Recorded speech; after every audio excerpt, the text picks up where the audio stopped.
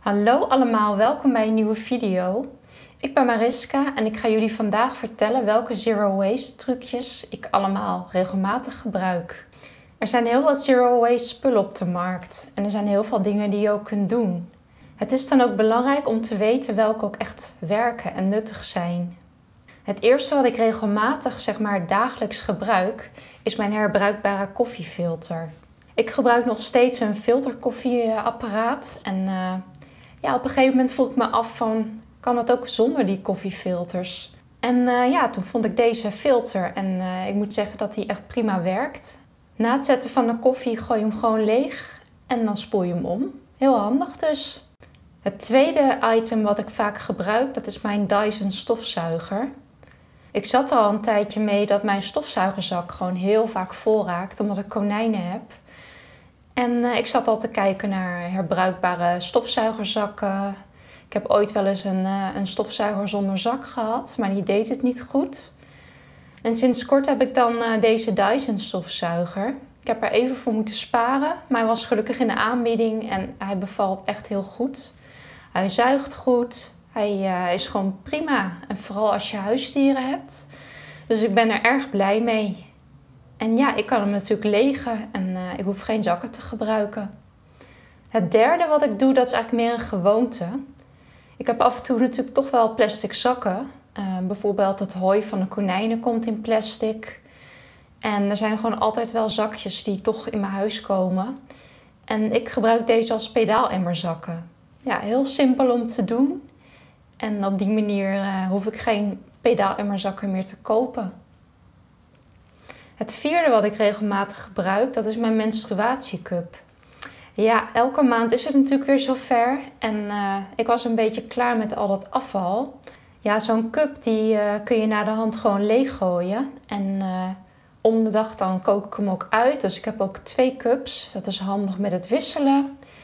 En dat scheelt gewoon een hele hoop afval. Dus ik ben ook heel blij mee. Ik hoef hem ook heel weinig te verwisselen. Dus het maakt alles ook een stuk comfortabeler. Het vijfde wat ik heel vaak gebruik, dat is eigenlijk in plaats van uh, ja, plastic, uh, hoe noem je dat? Vershoutfolie. Um, dat zijn eigenlijk mijn opbergers.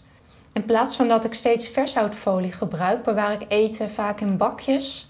En ik heb ook bijenwas uh, wraps die ik gebruik, bijvoorbeeld als ik iets mee wil nemen. En ja, beide kun je gewoon wassen en hergebruiken.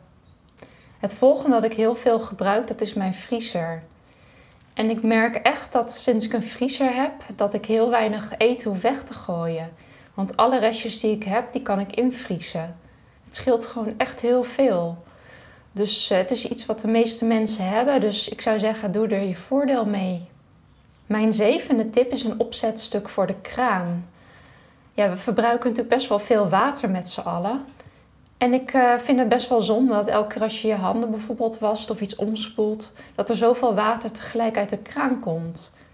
Zo'n opzetstuk zorgt er dan ook voor dat je minder water verbruikt. Er komt gewoon minder uit. En het, uh, ja, wat ik zelf handig vind, is dat het ook wat meer sproeit. Dus je krijgt gewoon een groter oppervlak waar het water opkomt. En dat is fijn met je handen wassen. De opzetstukjes die ik gebruik zijn niet heel erg goedkoop. Maar het fijne eraan vind ik dat ze verstelbaar zijn. Dus als je toch wat meer water wilt, kun je hem gewoon verstellen. En als je heel weinig water wilt gebruiken, dan zet je hem gewoon op de laagste stand. Het volgende wat ik dagelijks gebruik, dat zijn gewone ouderwetse zeepjes. Ik gebruik geen vloeibare zeep meer. Ik had nog een hele voorraad zeepjes liggen van uh, reizen waarbij ik steeds in andere hotels kwam. En overal lagen die zeepjes om mee te nemen. Wat ik dus toen gedaan heb. Maar ja, het handige is dat ik ze nu wel kan gebruiken. En uh, in het vervolg zal ik ze ook gewoon in de winkel in uh, kartonnen verpakkingen kopen. Of zelfs verpakkingsvrij als dat mogelijk is. En ze bevallen mij gewoon heel goed. Nog een apparaat wat ik heel veel gebruik, dat is mijn e-book reader. Ik hou echt heel erg van lezen en ik heb in het verleden echt kasten vol met boeken gehad. Nou, in de loop van de tijd heb ik die ontspuld. En ik merk eigenlijk dat ik lezen op de e-book reader gewoon wel heel prettig vind. Want je kunt de lettergrootte veranderen naar smaak en de regelafstand. Dus uh, sinds ik daar echt uh, veel op lees, heb ik niet zoveel behoefte meer aan fysieke boeken. Dus vanaf nu hou ik het bij e-books. Het laatste wat ik doe om afval te besparen, dat is het groeien van kruiden in mijn tuin. Ik heb best wel een grote tuin, dus er is veel plek voor allerlei kruiden.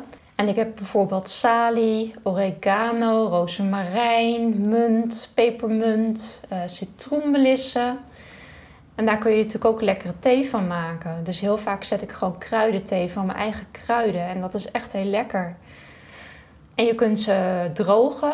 Dus eh, ook in de winter kan ik mijn eigen kruiden gebruiken. Dit zijn de 10 dingen die ik veel gebruik en waarmee ik heel veel afval bespaar.